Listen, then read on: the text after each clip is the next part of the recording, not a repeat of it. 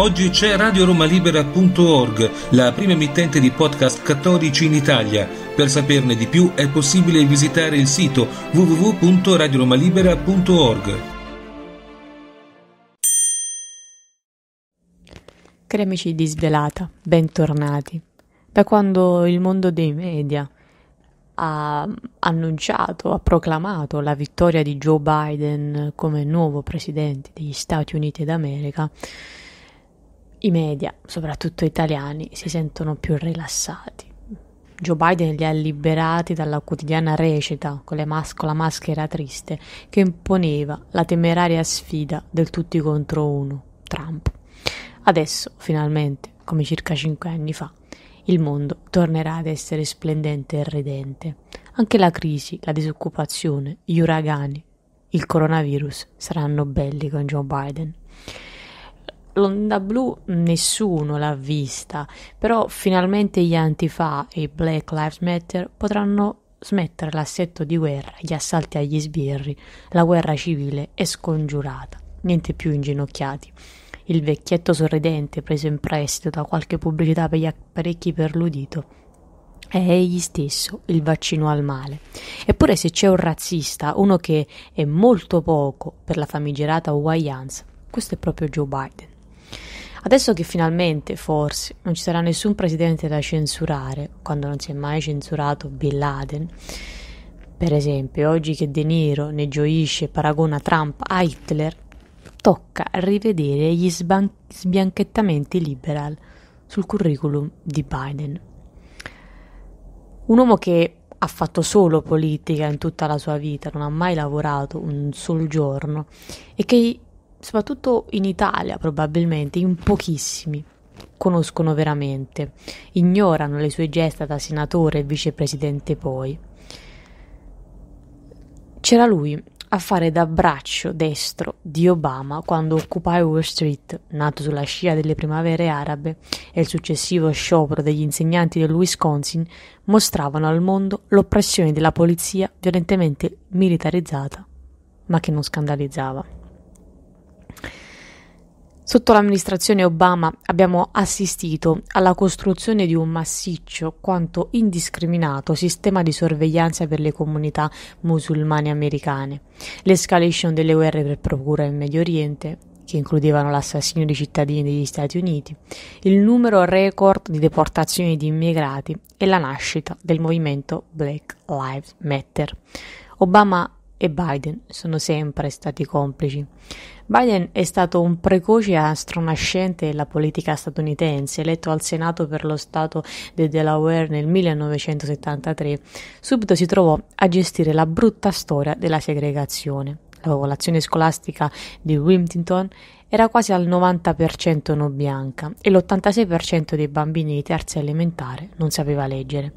Ma Biden era contro la desegregazione nelle scuole e soprattutto contro il fatto che studenti bianchi e neri frequentassero gli stessi autobus. Era proprio questa una delle pro- proposte per combattere la segregazione razziale. Biden era, come scriverà, per un'integrazione ordinata. Il Times, il Times riferì il New York Times che Biden si schierò dalla parte di Helms. Qualcuno si ricorda perché i liberal iniziarono ad odiare il senatore della Carolina del Nord nel 1975, quando quest'ultimo propose di privare il governo federale del potere di trattenere i finanziamenti dei distretti scolastici che si rifiutavano di rispettare le misure circa l'uguaglianza razziale. Andava più forte, piuttosto, offerta una bella versione polite della dottrina separati ma uguali. A giugno, nel pieno, nel pieno, della corsa presidenziale, i liberal hanno scenato il teatrino per ripulire l'immagine di nonno Joe. Kamala Harris, da donna di colore, ha chiesto spiegazioni in merito alle sopracitate mossa, mosse politiche, dicendosi certa però che egli non fosse un razzista. La faccenda si è risolta in breve, con Biden che ha semplicemente risposto che tutte le sue posizioni erano state riportate male. E vai con Dio. Biden ha accettato l'invasione dell'Afghanistan nel 2001 e votato a favore dell'autorizzazione all'uso della forza contro Saddam nel 2002, ma il guerrafondaio era Bush. Nonno Joe ton- tentò per due volte la corsa alla nomination democratica, prima nel 1988 e poi nel 2008.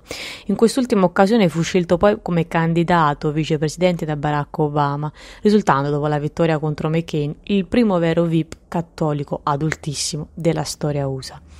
Joe Biden era, come era logico aspettarsi, ha concentrato la sua attività da vicepresidente, che nella cronaca internazionale pareva assai marginale, tutta sulle negoziazioni tra democratici e repubblicani in Senato per far passare iniziative bipartisan e portare avanti l'agenda obamiana, cosa che gli ha regalato belle amicizie anche in vista della corsa alla Casa Bianca. Quella di Joe McCain, capofila dei nemici repubblicani del presidente Trump, ha sicuramente contribuito a consolidare un asse tra eh, gli establishment democratici e repubblicani volto ad arginare la nuova amministrazione. Il debole di Biden per gli uomini di guerra, però, ben prima di McCain, inizia con il maresciallo comunista Tito nel 1979. Il giornalista italiano Fausto Biloslavo ha recuperato la lettera dell'allora senatore a sua Eccellenza il maresciallo Tito. I due ebbero una specie di colpo di fulmine. Nonno Joe dirà con orgoglio di aver stretto la mano e incontrato uno degli uomini più affascinanti della storia. E poco male per le mani sporche di sangue del maresciallo Tito.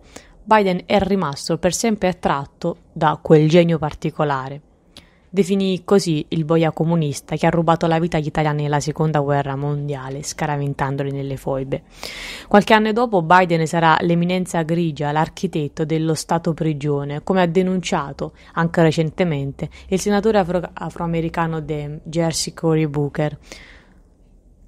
Usi quella retorica fasulla e dura, mai distrutto comunità come la mia ha detto Booker, che ha poi aggiunto: Gli emendamenti di Biden sono stati la più grande sconfitta simbolica per i diritti civili dal 1964, ma anche Booker, come Kamala Harris, verrà indotto al pentimento per queste dichiarazioni, non lasciando più la Harris come l'unica donna di colore pronta a sostenere la sua presidenza. Il riferimento in questione era al Clinton uh, Crime Bill, il riferimento di Booker, quando nel 1994 nonno Giù scrisse l'impianto legislativo di quello che passerà alla storia come il Clinton Crime Bill. Le nuove nuovi, le nuove leggi Jim Crow, ricorderete Crow.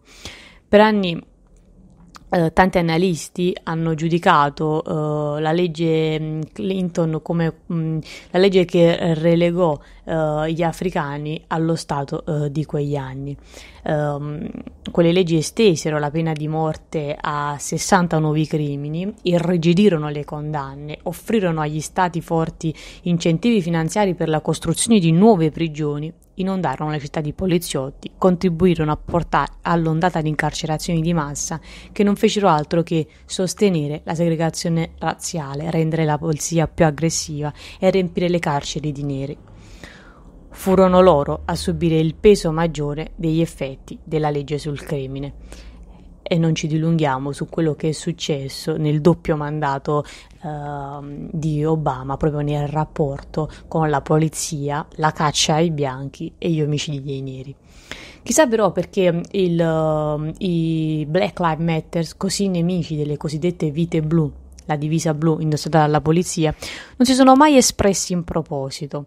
I tribunali hanno esagerato nella loro interpretazione di ciò che è necessario per porre rimedio alla segregazione illegale, diceva nonno Joe in un'intervista del 1975. Una cosa è dire che non puoi impedire a un uomo di colore di usare questo bagno e qualcosa completamente diverso è dire che una persona su cinque che usa questo bagno deve essere nera. Così non va. Forse è per questo che quando il mondo nazionalista, suprematista bianco ha visto uh, la candidatura uh, di uh, Joe Biden alla presidenza degli Stati Uniti d'America come certa, è rimasto folgorato. Uno su tutti, Richard Spencer, che ha, quando um, è impazzito di gioia e ha votato per la prima volta un democratico, rivendicando e sostenendo il voto per mesi. È così che va la narrazione dei giornali uh, internazionali. Alcune cose è meglio non dirle. Il politicamente corrotto è proprio così, è a, questa, a questo modus operandi. Ci sono cose da censurare e altre da perdonare e basta. E allora va bene il razzismo, il suprematismo ba- bianco, basta sia liberal. Va bene l'Ucraina Gate, il Groping Joe, il regime comunista uh, cinese che festeggia la possibilità di non dover più confrontarsi con Trump, i fratelli musulmani in Teheran che esultano sognando nuove primavere ba- uh, arabe e la fine di tutti i passi avanti che Donald Trump ha fatto in Medio Oriente, insieme agli antisemiti che guardano Biden come il nuovo Corbyn. D'altronde si sa che il movimento dei Black Lives Matter è solo un movimento omosessualista mascherato da movimento nero, con altri obiettivi e altre cause, come certifica The Queering of Black Lives Matter, un documento, um, un rapporto uscito l'anno scorso proprio sul movimento, e che nonno giù la pensa come Kamala Harris il governo federale dovrebbe trattare i sostenitori pro-life come segregazionisti. E allora evviva la rivoluzione liberal.